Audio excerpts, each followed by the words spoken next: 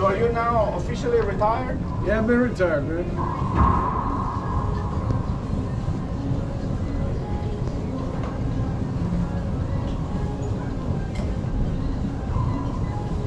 So what do you do with your time?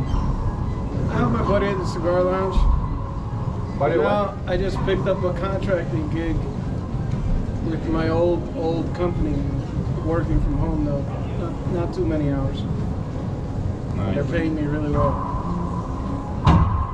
That's good, right? Being retired, getting paid more and then yeah. less.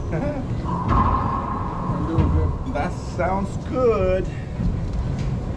All right, Papa, I gotta go. Man. Nice seeing you. Happy Merry Christmas. Feliz Happy Año. New Year, man. You definitely use, you should use. What is it? Mondays and what days? We're playing Monday, Wednesday, Saturday. Okay. For like, you you gonna find some. Somebody. yeah, somebody.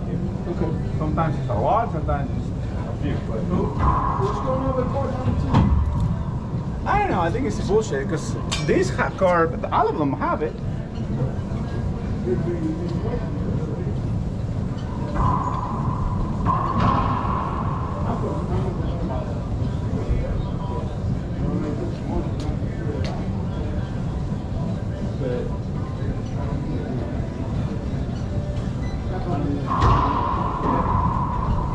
Yeah.